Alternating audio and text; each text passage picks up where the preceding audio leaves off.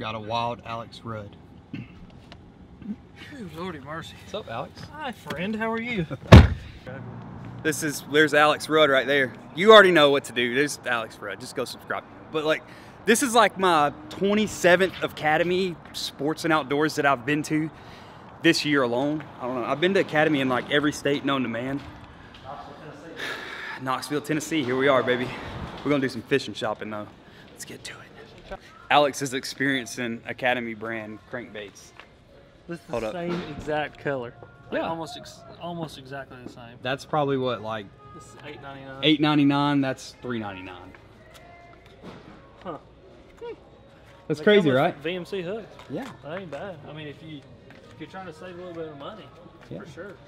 Hey, that's a Academy. You need to sponsor both Alex and myself now. Two ninety nine. You can't beat that. No, that's insane. Here's a Sammy. That's all that is is a Sammy right there. Yeah, Like straight up, that's a Sammy. I'm telling you, these are the only no joke. Sammy and a Sammy's fifteen bucks. Yeah, No joke. Those are the only crankbaits that I use. Um, I mean, that looks like an LV five hundred. That looks just like a red eye. Yeah. Oh, dude, these slay. Those slay right there. Huh. This one too, the ghost shad with the red eye. Love it. I've came here to get something, but I don't remember what it was. So hopefully we'll find that.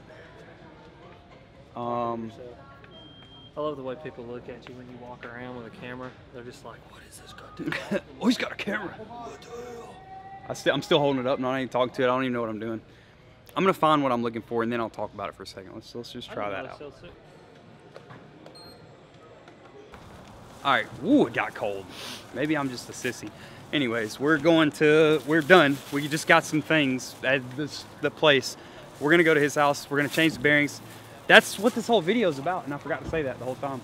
Uh, telling me now. Yeah. See you guys at the house. Wait, Look- so don't say anything like or anything? Yes, we'll edit that out. Don't yeah. even sweat it. Yeah, we Look- got we got you covered. Yeah, dude. there's there's Ben right there. There's well, there's not Ben. There's Alex, and then there's Ben. Look, there's say hey Ben. What's up, T- uh, TJ? What's up? We're back. Alex's house. So this is what we're gonna do. We're gonna put these spool Hi-Speed bearings in the Concept C, and we're gonna put, if they fit, the Concept C bearings in the Concept A. And I waited to do this until I got here to Alex's house because he knows how to do this, and I don't. I wouldn't say I'm an expert, but yeah, we're gonna have some fun here. All right, so we'll do a quick comparison real quick. We will show you the spool on the C, right? This is the C right now as it sits. That's stock bearings. That's just what, what it comes with. stock.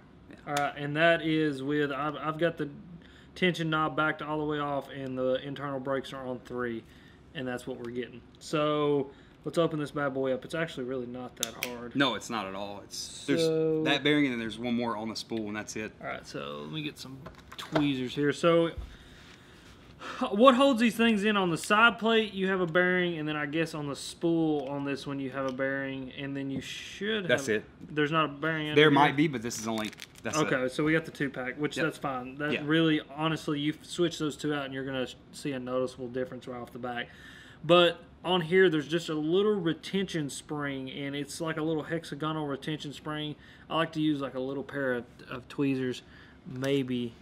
Right there's your bearing, so super easy. That right there is your bearing, and all you got to do is take these tweezers. And I'll be- try to zoom in for you guys. yeah. So you guys There can kind of see. So here is your retention spring. I don't know if you guys can see it, but that is your retention spring. All you're gonna do is take your pliers and you're gonna grab that retention spring and take it out of there and keep your finger over it because this thing will launch across the room if you're not too careful. And once you've lost it, it's really kind of hard to get your hands on another one because it's such an obscure part.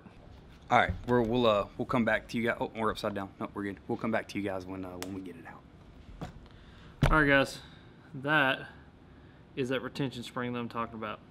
So once you get that retention spring out, I like to use a white towel. Lay your parts out here where you can see them. White is the easiest thing to see them on, but literally all you're gonna do is pop it out of there, There it is. and the bearing comes right out. And that's your old bearing. And what we're gonna do is we're gonna take our new spool Hi-Speed bearing and put it in, in there. So with this pack, we get two different sizes here. So you guys can see, here's the larger one. That'll be the one that goes on the spool. There's the small one. That'll be the one that goes in the side plate. Literally all you do, take your bearing, drop it into the side plate, just like that. Take your retention spring and put that bad boy back in there. Which, honestly, this is the single hardest part of, of doing this. I should be able to get it right back down in there, though. And there you go. So it's in. And then what I like to do is, where's my oil at? There's my oil. Take an oil, some oil, literally put like half a drop of oil into it. You don't even have to put a full drop. And then there, the one in the side plate is done. It's in, you're good to go.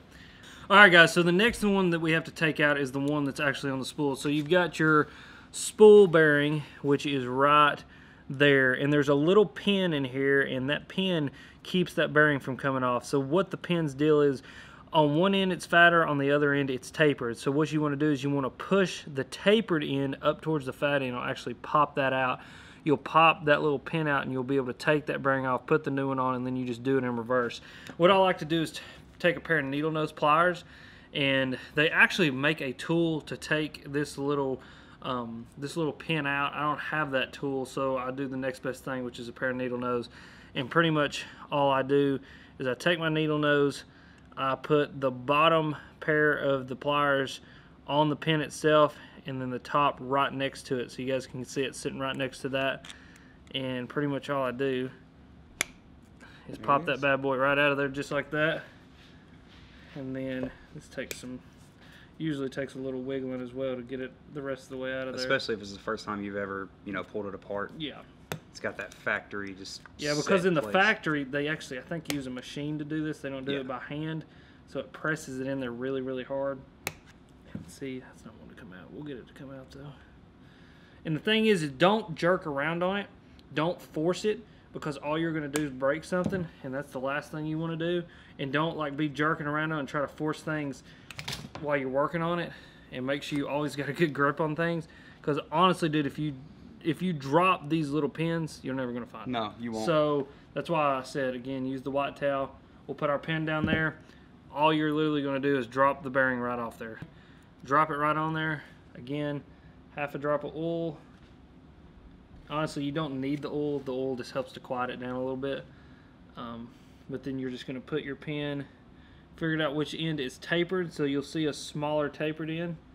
You're going to put that in back into the spool take your pliers and literally do in reverse what we did to begin with. So put it on there, except for this time, you're gonna put it on top. Make sure the hole is not covered.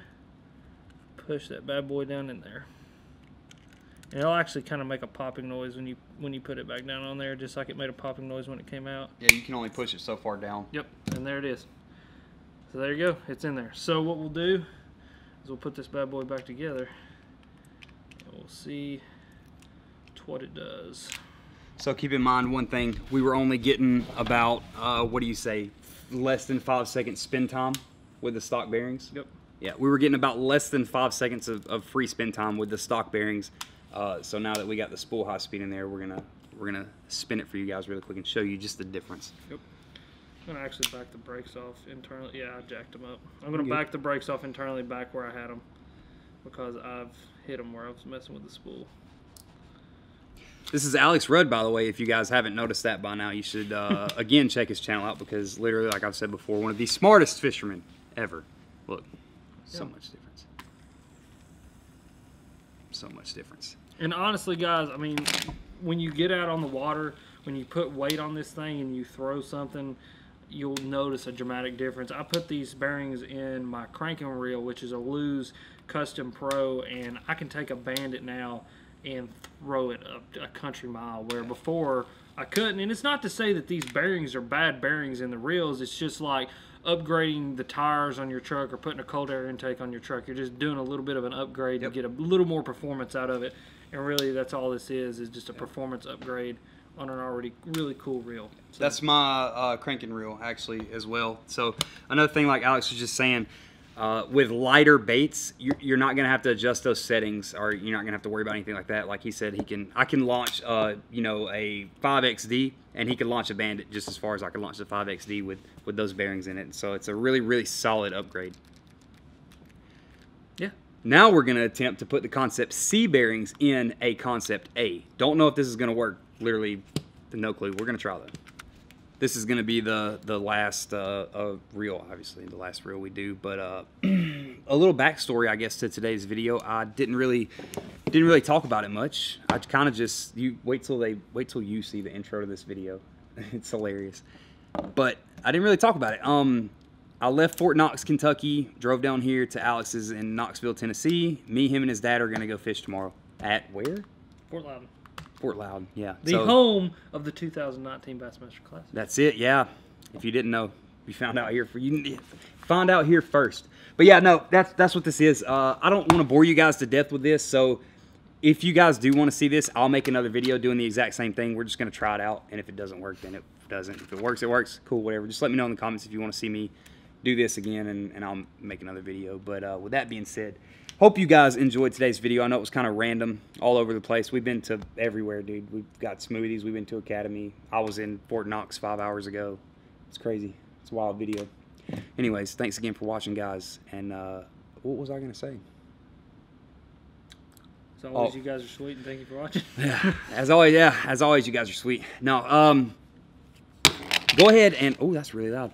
Go ahead and subscribe to the channel if you're not already. Let YakPak Outdoors earn your subscription. Seriously, let us earn it. But uh, that being said, thanks again for watching, guys, and we will catch y'all next time. Do the Alex Rudd right here.